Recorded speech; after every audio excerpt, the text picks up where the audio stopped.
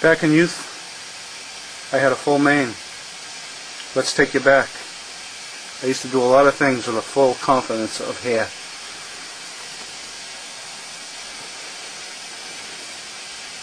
Look at the things I used to do.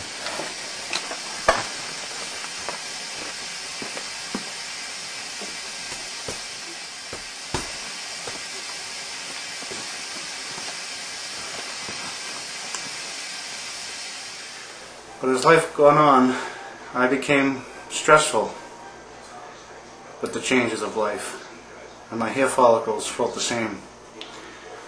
Damage within, up in this area, in the crown. And after two kids, the struggle, the fight, to keep them all happy. These soldiers, known as hair follicles, standing strong.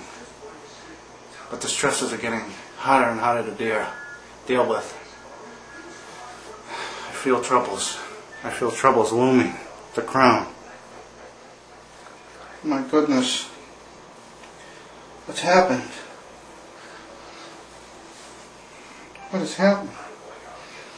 What's happening? Oh, but I still got this. No one will notice this. No one can notice this. Look at that. I can hide that. I can comb that over. See if I can comb that over. No, no one can notice that. Let's sit on here. Ah, uh, yeah. Let me, let me try to work with that a little bit. Do? Oh no, itchiness. The sensation. Oh, what's going on here? What's going on? Oh, oh, the, the hairline's just heating so badly. Oh, this is an awful way to go right here.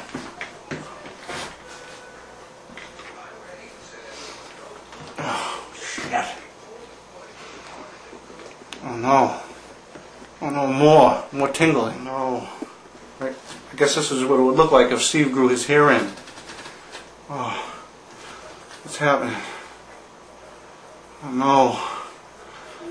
I'm finally losing my... Oh. oh my god. This is no way to live. What am I gonna do? My god, I'm bald. I'm gonna touch Daddy's hair? Even my son feels bad for me. Day. No, Daddy's bald.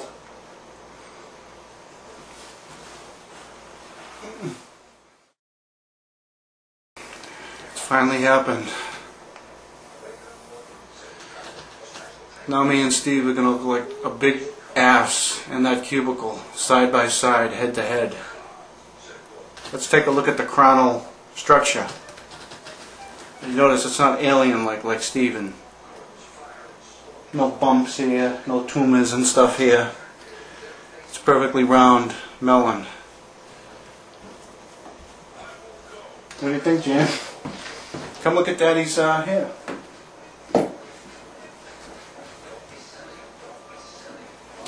Yeah, touch it. Good, rub my daddy's head. Now it's picked. It's finalized.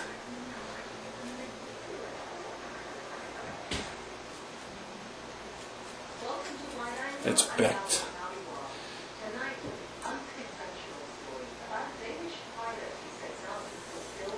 I've become one with baldness. I've become one of the good guys.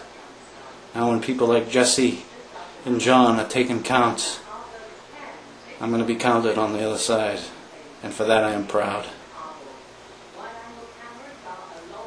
Yes, Chief.